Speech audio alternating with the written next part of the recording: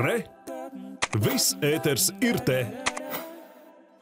Pat labam Latvijā sākot no ziemeļrietumiem debesis pakāpeniski skaidrojas, un šī diena visā valsts teritorijā ir gaidāma saulaina.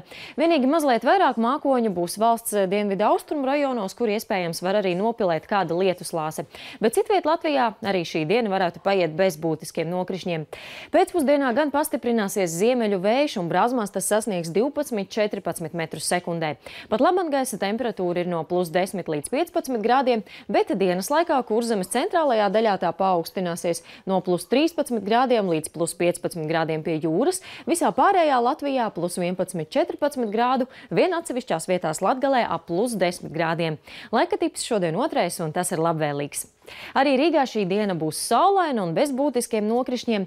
Mākoņi pamazām izklīdīs un gaisa temperatūra paaugstināsies līdz plus 13-15 grādiem, lai gan pūtīs mērens ziemeļu vējš un pēcpusdienā tas mazliet pastiprināsies. Sagaidāms, ka visas šīs nedēļas garumā Latvijā pūtīs brāzmaini vēji un arī gaisa temperatūra būs diezgan zema un rudenim atbilstoša, līdz ar to gaidāms vēss un arī drēgans laiks. Un tā kā šādā vējainā un vesā laikā ēkas strauji atdziest, tad šis būtu būtu īstais laiks šonadēļ, kad pieslēgt apkuri.